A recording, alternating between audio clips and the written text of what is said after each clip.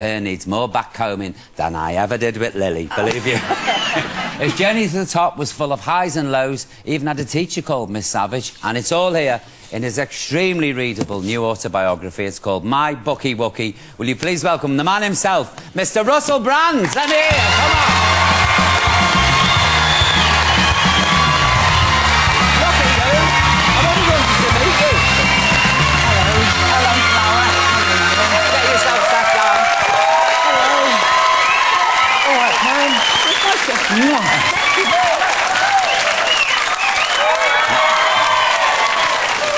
Russell, you're fabulous. Thanks. you are.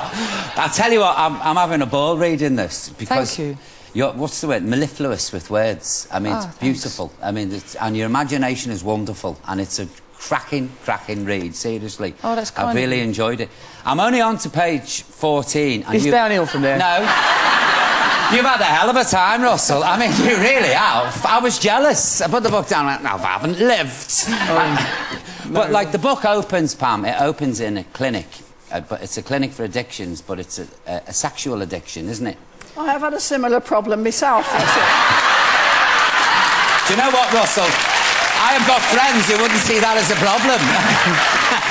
who would queue up. I think it's a risk, Pam and I being on the same sofa. Well, I want to know this. Is Pam safe?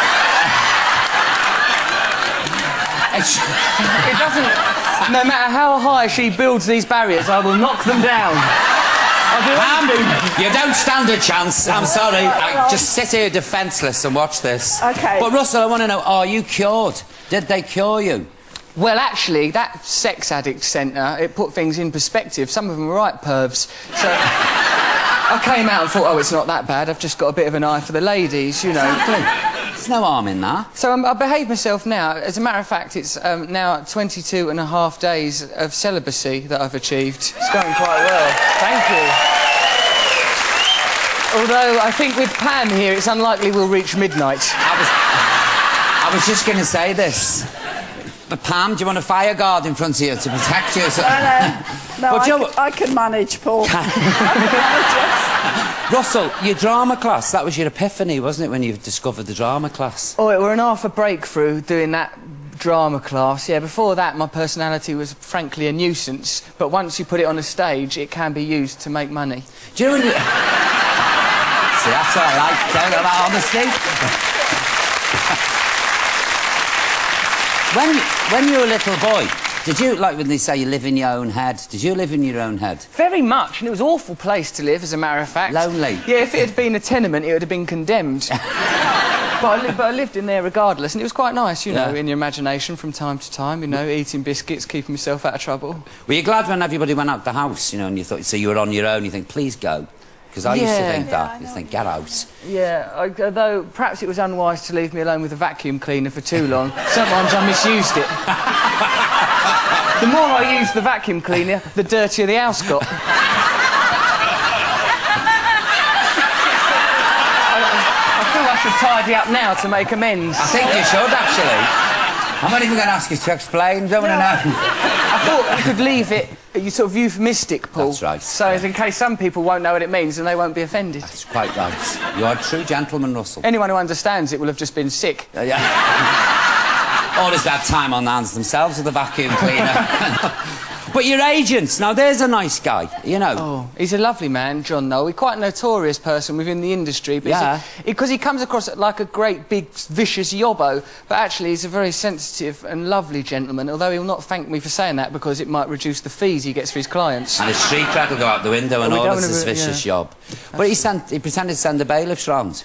Yeah, that was out of order, that was. Well, no, I agree though. He, guess what he done? Out of nowhere, apropos of nothing, he Yeah. said I weren't paying my bills quickly enough, but I was paying my bills quickly enough. He sent two people, actors they were, round my house pretending to be bailiffs. They sort of knocked on the door, goes, oh, we're bailiffs, we've come and get your TV set, we ain't paid your council tax. I said, I don't know what council tax is, what is all this? Didn't understand it. It was confusing, right? I, I phoned him up. I goes, John, there's a lot of problems. There's people here. They want my TV set. He goes, let me talk to them. I handed him over like that. And, then, like, they spoke to him for a while. A little bit of nodding happened. Then they give the phone back. And he goes, yeah, you better give him the telly, Russell. And I, I begrudgingly give them my TV set. They knocked things over. There was a photograph, much like that one, as a matter of fact, on the TV. They knocked that over on the ground. Then I was phoning up Camden Council saying, oh, what's going on the whole day, worrying about it. Then John revealed that he'd set up the whole thing for a joke. And one, one of the bailiffs had a camera in his hat. He sat, he sat me down in front of a TV set, and, and there was I opening my door in my underpants. I looked awful. Oh, lovely. It was embarrassing, Paul. Sweetheart, we can't be having this. Is he backstage? I'll have a word with him for you. No, he's not backstage. He's probably setting up another coup. It, wouldn't, it wouldn't surprise me to find out that this was an elaborate sting. It is. Oh, it is. yes. Look, I mean, you've gone to Hollywood now. You've gone big time. What was that, that like working in Hollywood? Did you hate it?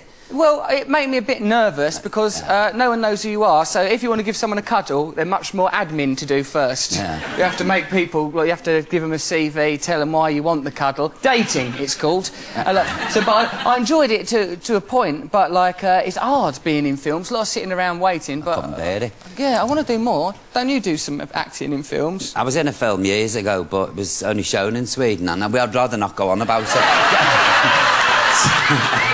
Paul, was it set at that Twilight Club? Russell, it was a long... But you are in a film that I, I love. It's a, a genre of movies I was mad on, the St. Trinian's films. Yeah. And you've replaced George Cole as... Flash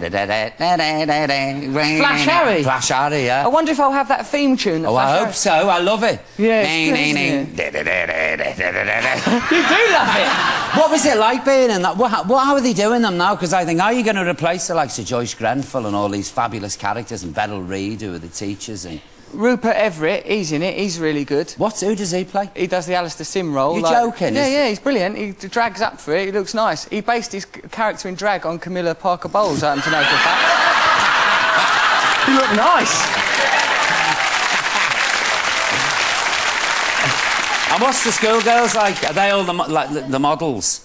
Well, actually, yeah, they're quite like the ones that are in their twenties. They're very like attractive and they're wearing schoolgirl uniforms, and the rest of them are just normal schoolgirls. Yeah. So it's very you just sort of go, oh, that's an adult dressed as a schoolgirl. That's a schoolgirl. It's best just to stay in your trailer. Uh, Keep out of trouble. Yeah. Eventually, I just aimed all my affection at Camilla Parker Bowles.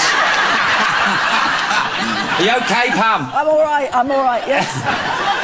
Hasn't he got great charisma, though? You really have, you know. oh, thanks. No, you have. No.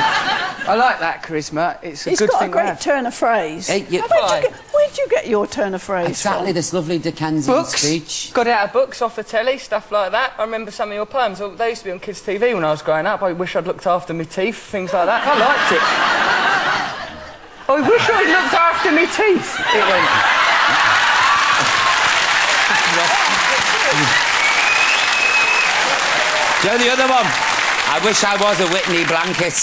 Remember that one? I do. Laid across your chest. How does it go after that? I, yes, it's such a long time ago.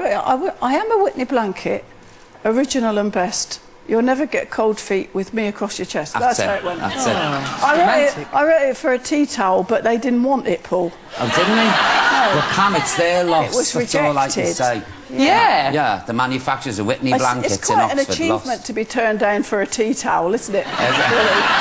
I'd like a tea towel with that on it. Would you? I would as well. I wrote you one. Would you? I would. We'll get you the blank tea towel from Woolies, Russell. Pam on a felt tip pen. We're laughing. We're in business. Yeah. I would never be able to dry up with it. I'd Never. just admire it. You have to Oh, hang it on you, your Russell. wall. It'd be like the Shroud of Turin. That's it, on a bit of dowling. so you've got a DVD out, haven't you, talking about films? Yeah, I have. Is It's, this a nice, clean one? It's a bit rude in places. Some bits are rude. You'd like it, I. I love it, yeah. Mucky. Lovely. Yeah, it's all right. It talks about doing that film off in Hollywood. It talks about, you know, me feelings. It's quite funny. I think Yeah. you should probably, if you want it, buy it. If you don't, just borrow it. Okay. I think a free copy comes somewhere here. Yeah. What, as a free copy? Well, no, they normally give it me to held up, you know, and do the... But I haven't got one, so... I don't think it's out yet, but, like, you can... I'll get you one if Yeah, you want it. will ya? Yeah. Okay, You can all definitely right. have one. Do you want one? I'd Pam? like one. I can't resist it. I'll swap it for a tea towel. Alright. Bit, let's have a look at Russell's DVD. Come on, doing life. Why, in our lifetimes, our human lifetimes that we're all enduring and enjoying together, was there a programme? Why did this happen? There was a programme on our TV sets called Dogs with Jobs, right? Dogs with Jobs, and they used to put it on at 11.30 in the morning, right? Now, I was unemployed at that time, and I resented a programme called Dogs with Jobs being put on telly when they knew people will be watching. You know what, Russell? On a, on a serious note, seriously, what I'd like to say about reading this book is your bravery about the way you dealt with all your addictions and all that kind of stuff, and you come out with flying colours, and you look fabulous, and you're a gentleman, and I think you're smashing. Oh, how No, lovely. really, I really do. Because when the tabloids go on about, oh, Russell Brand did this, that, and the other, they never ever say, oh, look at what he's achieved. Look at all these obstacles he's overcome. Look at these horrors. He got rid of that awful black dog off his back, and look how well he's done for himself. Thank you. And I salute you for that. I Oh, really do. Thank no, I really Paul. do. Ladies and gentlemen, Mr. Russell Brand, come on. Thank you. No, I mean that. I do. It's a fab book. What next? Some very unusual poems, so don't go anywhere. See you after the break.